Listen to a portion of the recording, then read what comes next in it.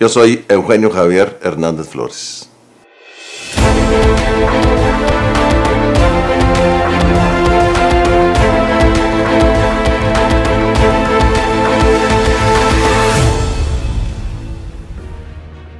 Yo iba este, en mi motocicleta, íbamos a salir fuera de la ciudad, aquí en Ciudad Victoria, y se nos atraviesan unas camionetas este, pues, sin logotipo y sin nada, y se baja gente armada, sin, sin ninguna este, identificación de que fueran este, policías o ministeriales o agentes del gobierno.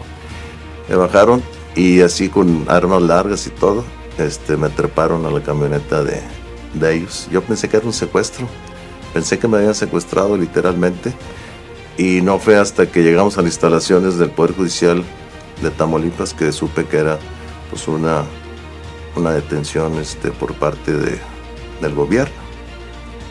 Entonces les pedí que me mostraran la orden de aprehensión, que dónde estaba el documento que acreditaba pues, que ellos podían hacer esa, pues, ese hecho.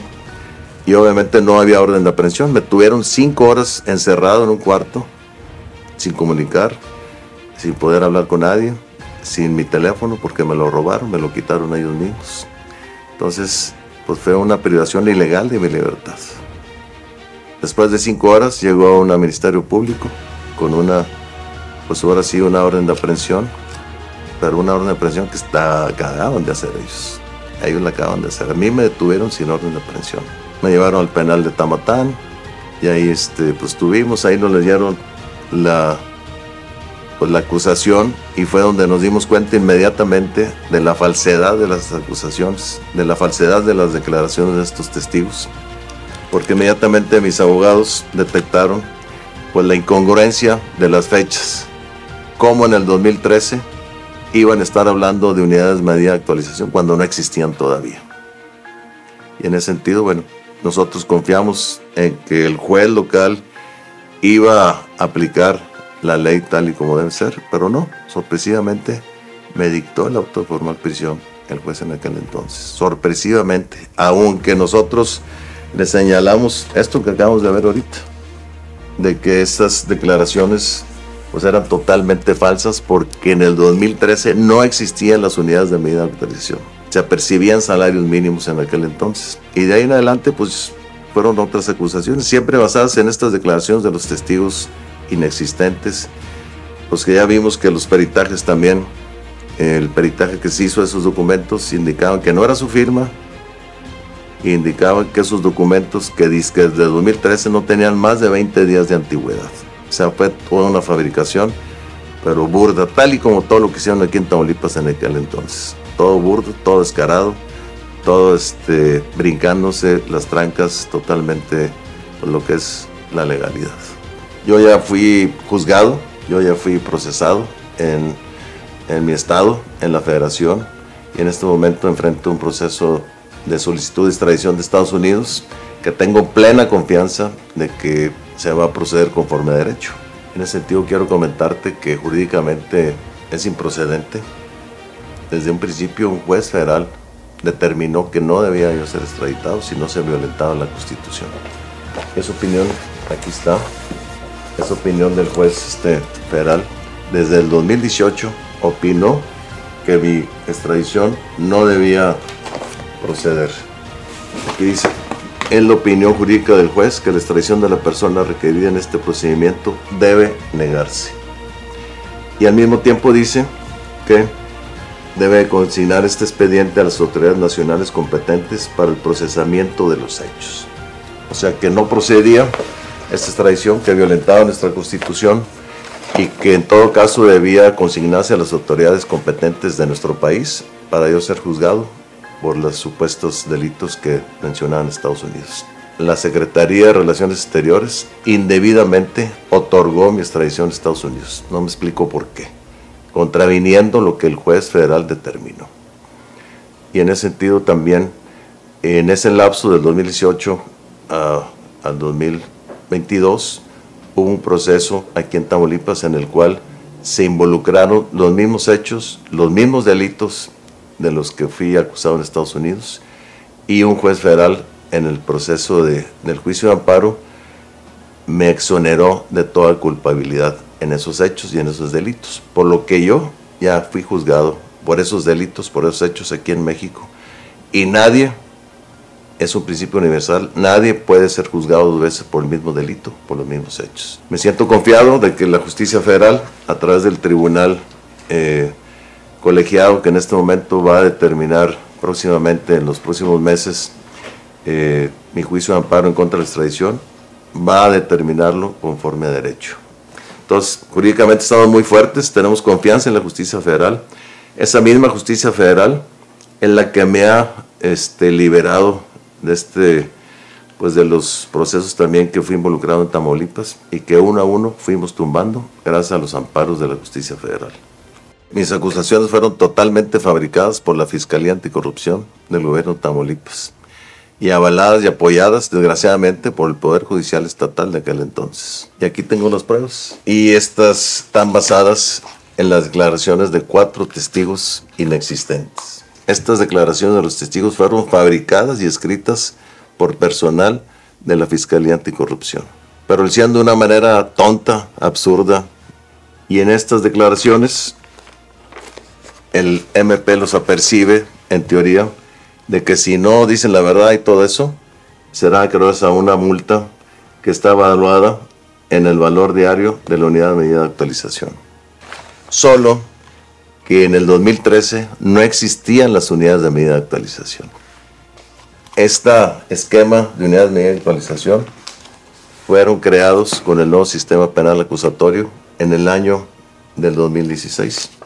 Aquí está el decreto donde se están creando las unidades de medida de actualización, las sumas, como se conoce, que tiene una fecha publicada en el Diario Oficial de la Federación el 30 de diciembre del 2016. O sea, en el 2013 ellos ya sabían que se iban a crear estas unidades de medida de actualización, como si hubieran viajado en el tiempo en aquel entonces, fueron y vinieron que ya se iban a, a crear las unidades de medida de actualización. Entonces, esto demuestra que fue una fabricación burda y tonta de la Fiscalía Anticorrupción. Yo fui encarcelado injustamente casi seis años por estas declaraciones falsas fabricadas por la Fiscalía Anticorrupción. Y la determinación de este estudio profesional, este peritaje, donde nos dice finalmente que se ha evidenciado sin lugar a incertidumbre más allá de toda duda razonable, que las firmas dubitativas atribuidas a los ciudadanos inexistentes, testigos, que aparecen en declaraciones testimoniales que obran en autos del presente expediente, no pertenecen al puño y letra y sistema nervioso central de estas mismas personas. Se comprobó que las firmas no coincidían con las de estas personas porque se localizaron sus pasaportes o sus este, documentos donde estaba su firma real. La compararon con las declaraciones y no coincidía para nada. Pero además, para rematar la falsedad de estas declaraciones y comprobarla, se evidencia que los documentos donde constan las declaraciones de dichos testigos fueron elaboradas recientemente, no datan del año 2013, por tanto, fueron falsificadas. ¿Qué más prueba queremos de la persecución política que sufrí en aquel entonces por el gobierno panista de Tamaulipas. Fui encarcelado injustamente. Y esto es un acto ilegal y arbitrario dicho por los jueces federales que me otorgaron mi libertad. Se tardó, la verdad, en salir, pero salió. Y aquí estoy.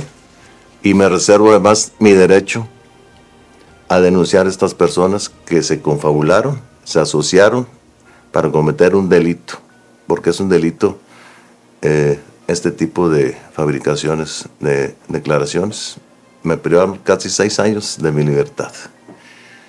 En ese sentido, pues eso nos refleja lo que fue un gobierno panista en Tamaulipas. Gobiernos que ya no queremos, gobiernos que no deseamos, gobiernos que vinieron a hacer daño, que no hicieron mucho daño solamente a lo personal, sino todo el Estado. Estas son las resoluciones en donde un servidor ganó litigando, con la ley en la mano nosotros salimos adelante. Con la ley, gracias a la ley estamos fuera. Pero también aquí es interesante lo que dicen estas resoluciones de, de, los jueces federales, donde dicen dejen insubsistente el auto de formal prisión, donde los jueces federales le ordenan a los jueces locales que me dejen en libertad porque es ilegal lo que hicieron. Y aquí mismo, y esto es algo serio, grave para ellos, porque aquí dice el juez federal que esto fue un dicho, esto acto de viene es ilegal y arbitrario todo esto que hicieron. Ilegal, o sea, violaron la ley para encerrarme. Y eso puede tener consecuencias. En ese sentido, bueno, se tardó la justicia en llegar, pero llegó finalmente. Y aquí estamos dando la cara a los tamolipecos de frente y demostrando que fue una vil persecución política en mi contra lo que sucedió desde 2017. Sabemos que yo no fui el único perseguido político en este régimen, en este gobierno anterior del PAN. Hubo muchos actores, desde empresarios, que se negaban a venderle a los familiares del gobernador sus propiedades a precio de ganga. Fueron perseguidos con este mismo tipo de esquema. También fueron perseguidos muchos periodistas que no coincidían y que decían sus verdades al régimen panista. Igualmente, muchos actores políticos que ellos les incomodaba este gobierno, los acusaron eh, falsamente pues, de todo tipo de, de delitos basados en este tipo de declaraciones falsas. Yo quiero que, que todos estos actores pues denuncien este tipo de hechos, porque no podemos permitir que suceda eso en nuestro Estado. Lamentablemente el Poder Judicial fue cooptado por el gobierno anterior y fue indigno todo lo que hicieron los jueces. A mí, los jueces que me acusaron, que avalaron la acusación malamente, me mandaron decir pues que los lamentaban mucho, que no era cosa de ellos y que tenían órdenes superiores de hacer lo que hicieron. Por eso yo les digo que no cualquiera puede ser juez. Para ser juez hay que ser honorable y hay que tener pantalones para sostener pues lo que es la ley realmente. A pesar de las presiones que tengan sus superiores, los juzgadores tienen la responsabilidad de dictaminar todo de acuerdo a la ley. Pues hubo de todo. Al principio fue muy duro, sobre todo para mis hijos, para mi madre, para mi familia, pues para gente cercana a mí. Eh, fue muy duro este, pues digerir pues que yo estaba en prisión y este pues siempre tuvimos la esperanza al principio de que se iba a aclarar esto y que se iba a actuar conforme a derecho. Sin embargo, pues nos dimos cuenta que era un proceso largo y luego este, cuando íbamos comprobando una acusación a mi favor, pues venía otra y cuando íbamos comprobando esa, venía otra. O sea, fue una acusaciones sistemáticas para mantenerme en prisión. Pero todas las acusaciones fueron totalmente solventadas y obtuve mi absoluta libertad de todas y cada una de ellas.